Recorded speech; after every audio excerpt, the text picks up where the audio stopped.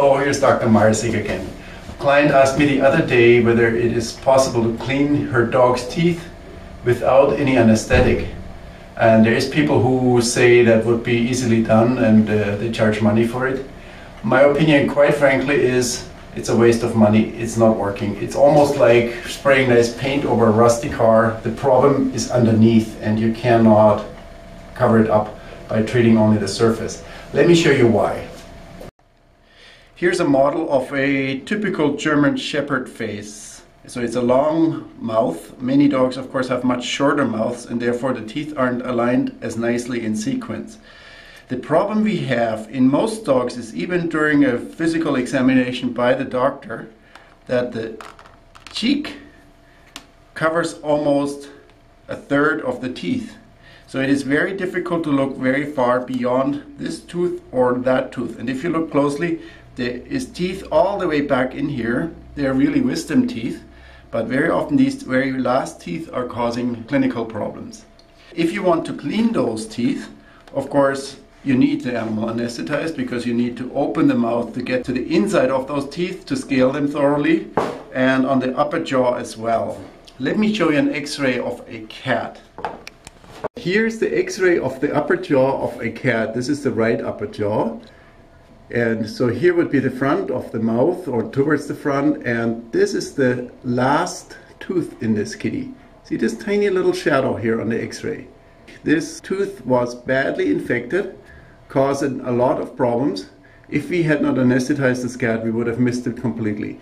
This wisdom tooth is useless in terms of uh, function and so we extracted it. I was talking about cleaning the surface versus deeper down. It's important that we go deeper down. Have a look at this photo here. Here's the gum line.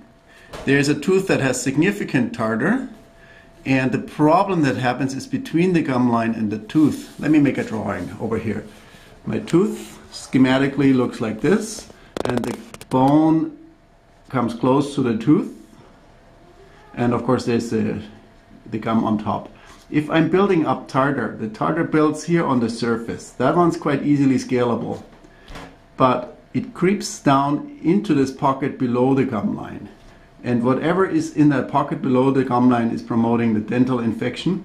Not only is it going to develop more tartar on the surface, but it will as well move deeper down and eventually dissolve bone and gums, causing so-called periodontal disease. Have a look at this photo here. This is exactly what I was, was talking about. Periodontal disease has developed to a severe stage. The tool that's being used to scale below the gum line is called subgingival curette. You're scraping with this tool underneath the gum line. In uh, real mouth, of course, there's a little gap and we can probably insert this tool 3 4 millimeters into the gum line in an infected tooth. If that does not get done correctly, you leave all the debris and infection in that groove and you achieve nothing if you scale only on the surface. And last, for a good dental, you need to polish the teeth and you need to polish underneath the gum line by using a rotating polishing bit like this one here and it flares out and goes underneath the gum line when I'm rotating. You see this action here? Oh, it actually polished here my plastic. Uh, of course, we use a, a proper polishing paste for that. Without polishing, the teeth are going to be bad within days, while a properly performed dentistry should last for a fairly long time. Again, something you cannot do without anesthetic. So can you imagine a dog actually letting you do that or a cat?